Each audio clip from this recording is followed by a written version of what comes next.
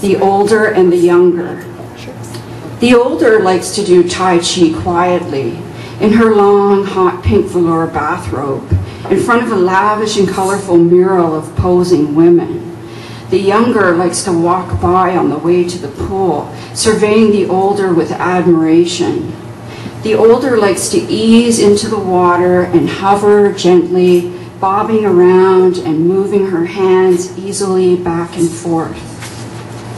The younger likes to pound off her laps as fast as she can, since this is part of her intense self-created physical training program. She uses a cane and sometimes a wheelchair. She is fighting to keep from needing a wheelchair full time and to be able to keep on choreographing and dancing. She can do 46 lengths of the 60-foot pool in 25 minutes now. She even throws in some lengths doing the butterfly for an extra challenge because she's got game. The older looks on at her admiringly and smiles at her and nods on occasions when their eyes meet.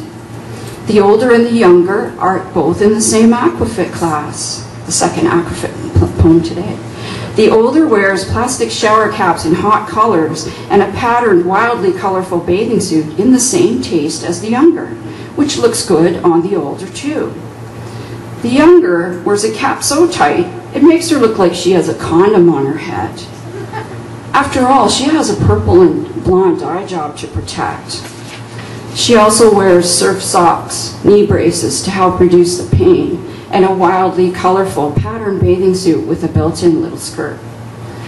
The older is on the far side of the pool in the deep end, very independent and mysterious, because she's got game. The younger likes to chat with people in the shallow end before class starts. During class, she straddles the two worlds of shallow and deep, as her instructor has pointed out she likes to do. Is this a metaphor?